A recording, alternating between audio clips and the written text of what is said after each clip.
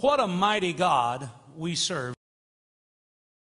Those words are something that you should never mumble. Those words are something you should declare.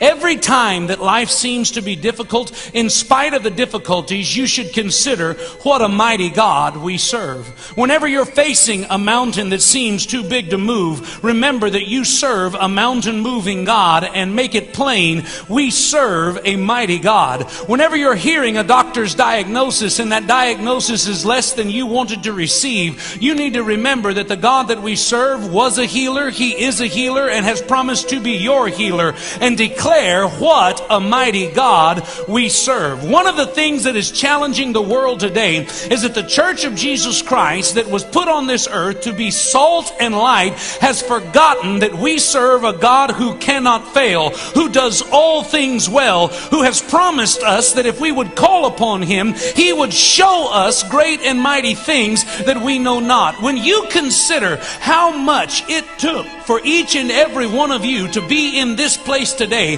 when you consider what Hebrews had to say about the fact that His Word is alive and it is powerful, when you understand that every detail of everything that is happening on this earth, God plans to use to bless and benefit your life, it is hard for you to stand there and not understand what a mighty God we serve. He is here watching over you. He has the numbers of hairs on your head numbered. He knows your name. He knows your need. He saw your problem long before it arrived, and He started making plans and preparations so that at His appointed time, in His appointed way, above all that you could ask, think, or imagine, He would open up the windows of heaven and pour out upon you blessings you cannot contain. Is the world stacked against you? Greater is He who is in you than He who is in the world? Have weapons been formed on the opposite side? In His name, no weapon formed against you should prosper.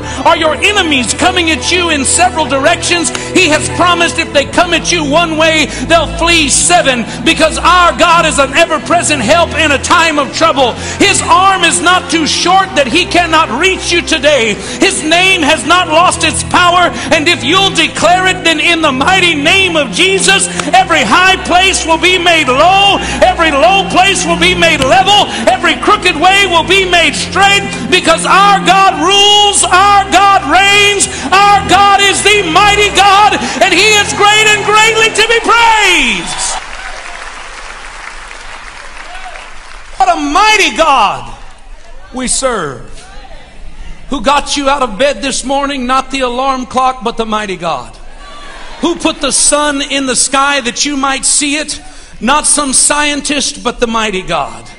Who is the one who whispers to you through the breeze that blows in the trees? Who is the one who has ordained this time and season in your life? Who is the one who is watching over you right now as you stand here in this sanctuary? He'll guard you and guide you when you leave. He'll make a way before you tomorrow and the next day. He'll give you strength for today and a step for tomorrow. No one but the mighty God.